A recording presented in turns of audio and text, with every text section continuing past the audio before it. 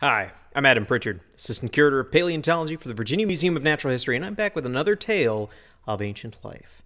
Last week, I introduced you to the huge cast of characters of fossil sharks from the Carmel Church Quarry, so the sharks that lived off the coast of Virginia 14 million years ago. But that kind of left a lot of story to tell. I plan on coming back to the sharks in the future, but I felt like something was missing. It was leaving out someone the shark's closest relatives in the world. And then it hit me like a ray of sunshine. Because it's it's rays, like stingrays. I, I thought it was funny. This is the tale of the fossil rays. Now, it's easy to imagine in your mind the incredible, distinctive, and flattened body of a ray, with a long tail usually arcing out behind it. In the legendary stingrays, this tail carries the poison that protects them from danger.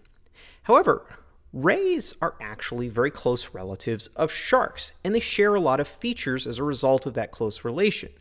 One of those features is a skeleton that's mostly made up of cartilage.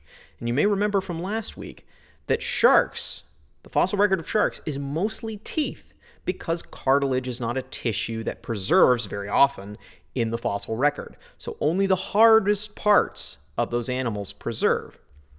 Same problem with rays.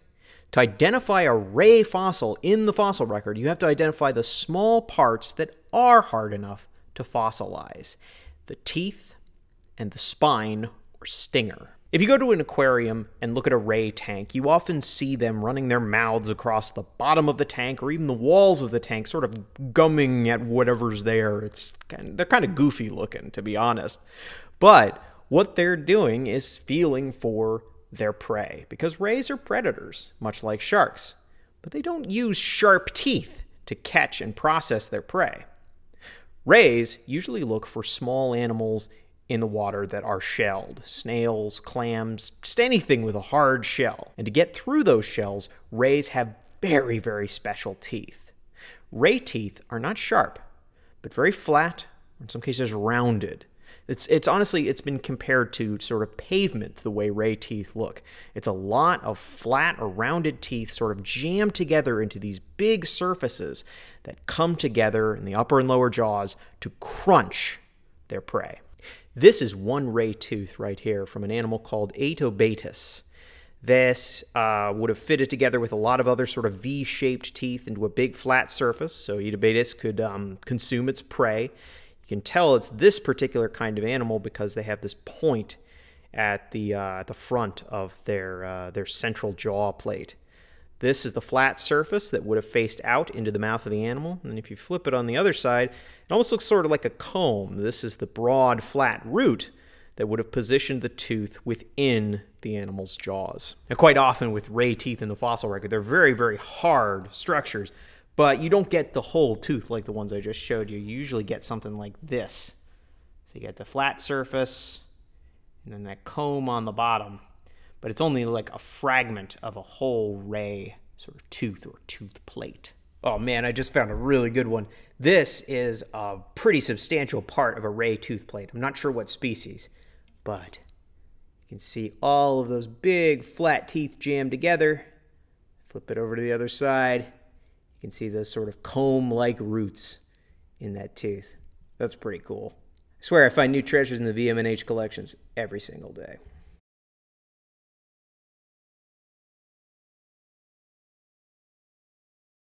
Actually did some repairs on a specimen as part of this episode because there was one specimen that was kind of in rough shape that I really wanted to show off. The next one is from a site in the Yorktown Formation, so a little bit different in age, a little younger. But this is a stingray spine. So you can see its sides are just lined with these tooth like processes, these little denticles that would have made removing the spine harder. This would have sat on top of the tail, and the stingray would whip its tail around almost scorpion like to jab the sharp end, which is broken off over here. If the spine breaks off, just starts growing another one. But this was just a particularly large spine. I mean, just imagine this you know, even a part of this going into your, your arm or your leg. It's, it's kind of a terrifying idea. And it would have been covered in venom in life. Would have made a really bad day for whatever poor predator tried to come after this ray. So much of the ray fossil record is these teeth and these spines. And although that doesn't show us the whole of the body, we can use those to identify how close rays like the ones from Carmel Church are to modern species. With these two pieces of the body, we can say a lot about the presence of rays in ancient fossil ecosystems. still trying to piece together their roles in those ecosystems and still trying to tell their tales of ancient life.